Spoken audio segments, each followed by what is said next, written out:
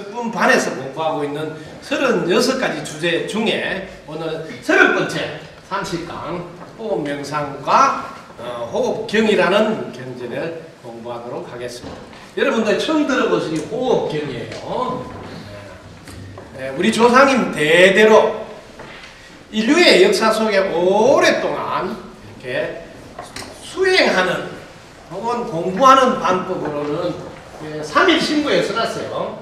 이게 지감, 조식, 그 다음에 금초 요 세 가지 예, 방법으로 공부를 하도록 예, 안내를 해놨는데 요 조식이 예, 호흡을 고르게 하는 걸 말해요. 호흡.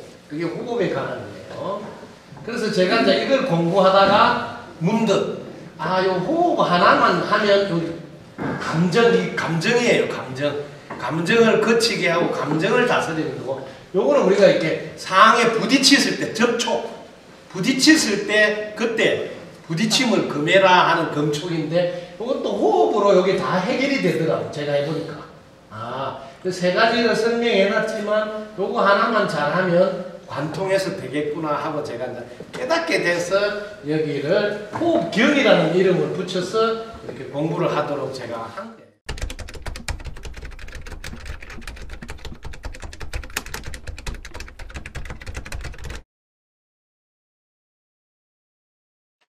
덕부입니다. 덕분 스쿨에서는 매 주말마다 수련을 열고 있습니다. 오시는 것은 여러분들이 KTX를 타고 대전역에 오시면 대전역 동광장에서 여러분을 모십니다. 9시 반에 출발합니다.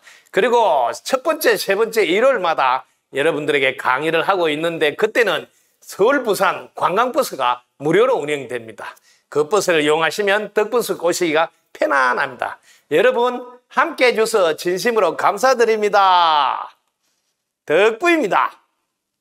구독, 좋아요, 알림 설정 감사합니다.